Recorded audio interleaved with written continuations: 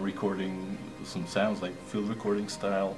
I'm using hardware synthesizers, to routing hardware effects boxes and so on. Right. So that's how my music is made. When I'm performing live, I like to have already at least some kind of structure. I'm improvising quite a lot, but you know, if you want to get from A to B, from beginning to end, I like to have my kind of imagination what, what I'm going to do during my live set. And uh, actually, like this program could be super helpful, especially from this aspect.